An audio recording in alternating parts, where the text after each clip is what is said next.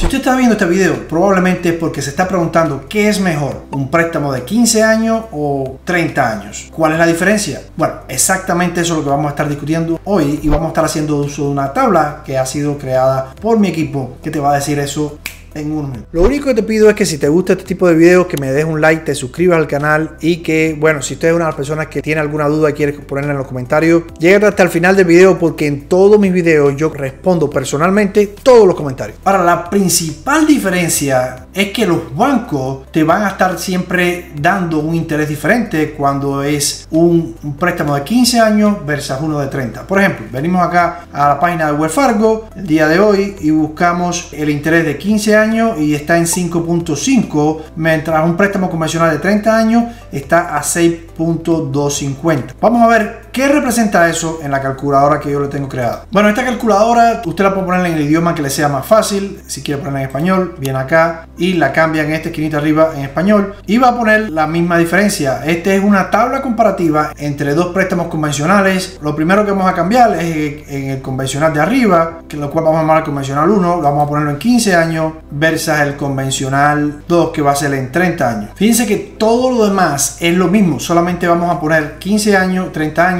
lo otro que vamos a estar cambiando es los intereses. El de 15 años tiene un interés de 5.5 y el de 30 años tiene un interés de 6.250. Solamente con cambiar los intereses y los años te va a decir cuál es la diferencia entre uno y otro. Si vienes aquí a la tabla te vas a dar cuenta que el pago mensual va a cambiar significativamente. El pago mensual de una casa de 300 mil va a ser de 2.648.1 versus al, al pago mensual del de 30 años con el interés un poco más alto va a ser de 2065.2. ¿Cuánto la diferencia? Aquí si va un poquito más abajo, se va a dar cuenta que la diferencia entre ambos pagos mensuales es de 583 dólares. Y es por eso que muchas personas que cuando vas al banco dice, bueno, ¿Me conviene o no me conviene? Hay una diferencia tangible de 500 y algo dólares. A veces es más, a veces es menos en dependencia del momento que esté refinanciando. Ahora, ¿cuánto representa en ahorro poderlo hacer? Es algo que esta tabla te va a decir bien fácil. Hay una diferencia de 0.75 en interés. Aquí te, te pone lo que paga en interés uno y lo que paga en interés el otro, el de 30 años. Cosa que te facilita esta tabla poniéndote que hay una diferencia de 215.918 dólares una suma significativa. O sea, que si decides irte con el de 15 años, vas a estar ahorrándote más de 200 mil dólares. Versa que si lo tienes que pagar en 30 años, solamente en interés. Ahora, no todo el mundo puede afrontarse de dar un pago de 583 dólares más mensuales. Hay algo que quiero que sepa que es lo que yo hago con mis préstamos y quizás le pudiera servir ese consejo a usted. Claro que yo quiero ahorrar 215 mil dólares. Eso suena bien y pagar la casa en 15 años. Perfecto perfecto, eso es lo que queremos todos. Pero el compromiso de pagar 583 dólares mensuales por los 15 años puede ser que para muchos eso sea un inconveniente. Entonces, lo que yo hago en la mayoría de mis propiedades es que compro una casa a 30 años y hago un pago extra adicional como si fuera de 15 años. Y así me va a permitir pagar la casa más rápido. La diferencia es que en caso de que yo esté apretado, que un día la economía vaya mal, yo puedo cambiar y elegir no seguir pagando esos 500 y algo mensuales. Usted, si se compromete con el banco que lo va a hacer a 15 años, el banco le va a dar los intereses más bajos, lo cual es lo que hace pensar. Esto es lo que yo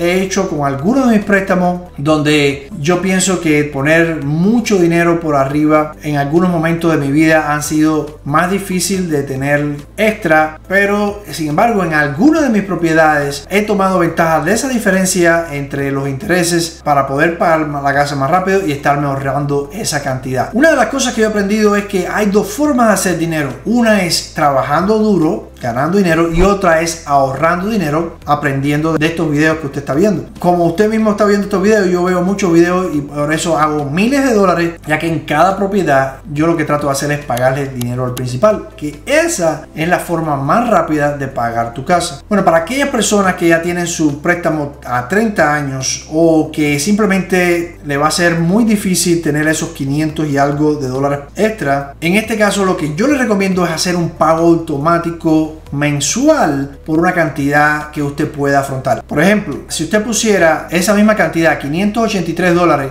vamos a decir, en el pago 2, que es el de 30 años, 583. Y esa es otra cosa que tiene esta calculadora que te puede decir si haces un pago extra que vas a tener. Entonces fíjate, cómo se autollenó todas estas esta casillas, te va a comparar un préstamo convencional, el 2, que es de 30 años, con el convencional 2, pero con un pago de 583 dólares. Si te das cuenta, el primero se va a pagar en 30 años. Este se va a pagar en 16 años, lo que para ser exacto serían 196 meses. Ya para el tiempo que usted va a estar viendo este video, posiblemente mi equipo va, a ponerte la diferencia acá. Es una de las cosas que me di cuenta cuando estaba haciendo este video. Pero si usted saca su calculadora y pone 352.200 menos 172.464, eso te da una diferencia de 179.736. Si te das cuenta, pagándole al principal de la casa vas a tener un ahorro, casi 180 mil dólares comparado con este de 215 mil. Es decir, estamos hablando de una diferencia aproximadamente de 35 mil, 36 mil dólares. La diferencia de esos 35 mil dólares la hace el tener un interés que cuando usted desde por primera vez o cuando refinancia y elige cuál va a ser el interés entre uno de 15 años con uno de 30 años, pues es la ventaja que el banco va a tratar de promover que pagues más tu mensualidad. Porque mientras más rápido usted pague la casa, pues más rápido el banco toma el dinero para atrás. En realidad los bancos mientras más años, pues más va a cobrarte intereses. Pero bueno, así es como funciona. Si usted quiere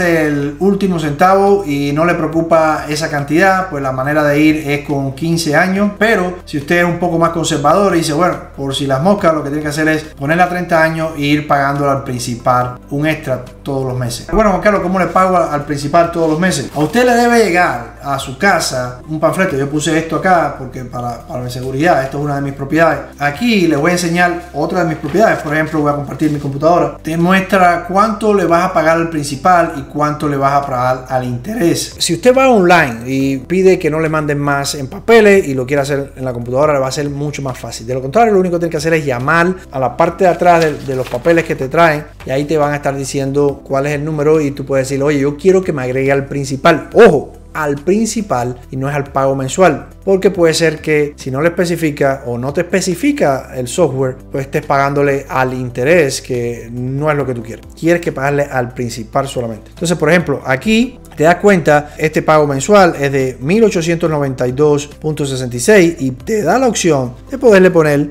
583 dólares. Y esto lo puedes poner que sea todos los meses automáticamente. En conclusiones, la mejor forma de pagar la casa más rápida y ahorrar más dinero en pagar intereses es si la haces a 15 años, porque el banco te va a dar intereses más bajos y tú efectivamente vas a estar pagando 15 años más temprano la casa. La desventaja es que tienes que tener un pago más alto y puede ser que si dejas de trabajar y no tienes un dinero ahorrado por varios meses para cuando tienes un problema, puede ser que eso te traiga problemas y pudieras como perder la casa. Aunque en realidad se ha visto varios de mis videos cuando tú estás con un problema de que pierdes el trabajo y, o demás, la mayoría de los bancos, y es algo que tienes que preguntar siempre tú, te pueden ajustar algún arreglo porque, bueno, por la situación que estás pasando. Eso pasó en el 2020 con el tema de la pandemia. Muchos arreglos se hicieron porque los bancos y el gobierno entendía que si no se iba a hacer una crisis total de mucha gente sin poder pagar sus casas y perdiendo casas. Si usted es una de las personas que se siente bien con el pago mensual,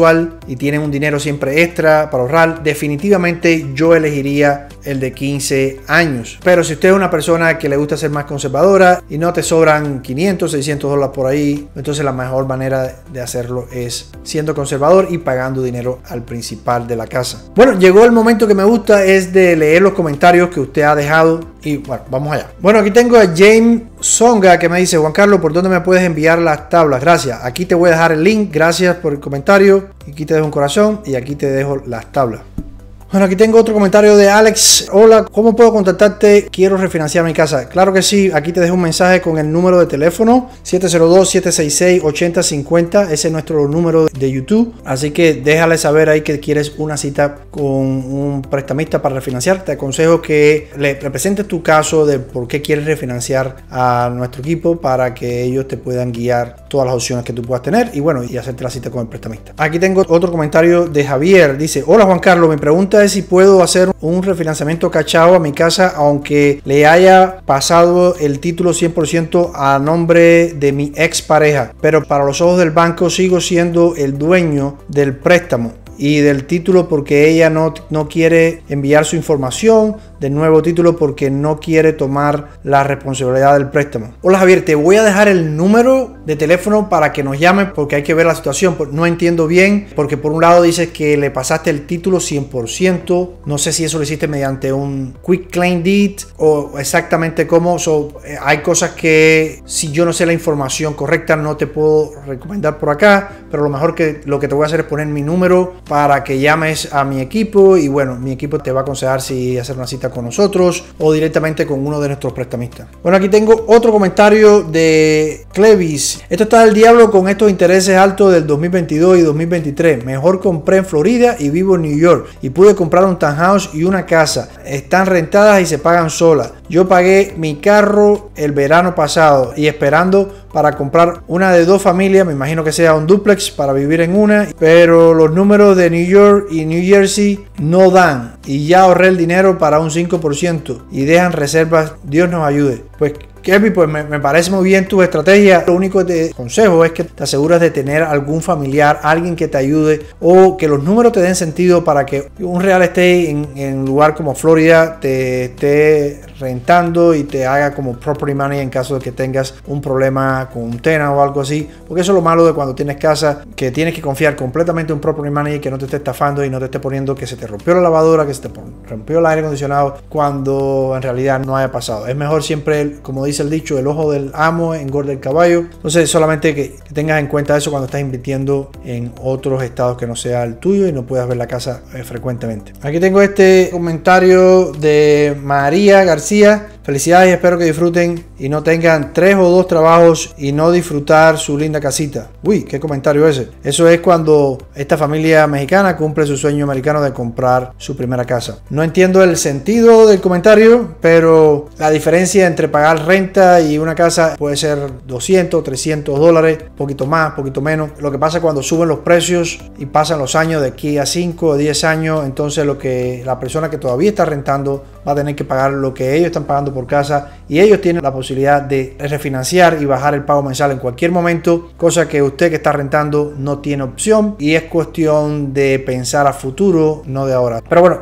se te agradece el comentario. No sé si lo que quisiste decir fue lo que yo entendí, pero bueno, de todas maneras ahí te dejo mi opinión. Espero que, tenga sentido. Bueno, eso ha sido todo por hoy. Mi nombre es Juan Carlos Carrera, soy Realtor Ingeniero y estoy aquí para ayudarlo si usted está pensando en vender o comprar una casa. Si llegaste aquí, no le has dado un like o te has suscrito, este es el momento que tienes y nos vemos en el próximo video. Chao.